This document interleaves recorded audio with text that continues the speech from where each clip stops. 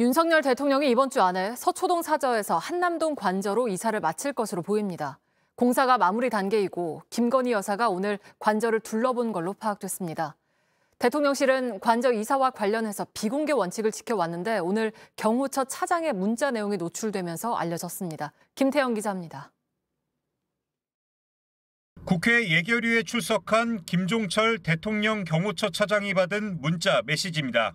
김건희 여사가 오전 11시쯤 한남동 관저로 이동할 예정이라고 돼 있습니다. 집무실, 집기류 등은 거의 이사를 마쳤고 김 여사가 이동한 뒤 서초동 사저에 짐을 정리하겠다는 내용도 담겼습니다. 이를 두고 윤석열 대통령 부부가 한남동 관저로 오늘 입주하는 것 아니냐는 관측이 나왔습니다.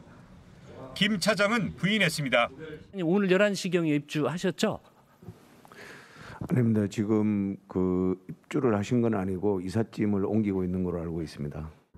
대통령실 관계자는 대통령 부부의 비공개 동선은 보안 상황이라 확인이 어렵다며 입주가 끝나면 자연스럽게 말씀드리겠다고 기존 입장을 되풀이했습니다. 하지만 경호처 관계자들이 주고받은 메시지를 보면 사실상 이사 절차가 마무리 단계에 들어간 걸로 보입니다. 이르면 이번 주 중반부터 윤 대통령이 한남동 관저에서 출근할 거란 관측이 나옵니다.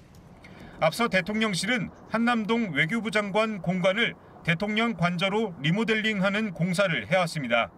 지난 7월 중순쯤 공사는 마무리됐지만 경호 보안 시설을 보강하면서 입주 시기를 계속 늦춰왔습니다. JTBC 김태영입니다.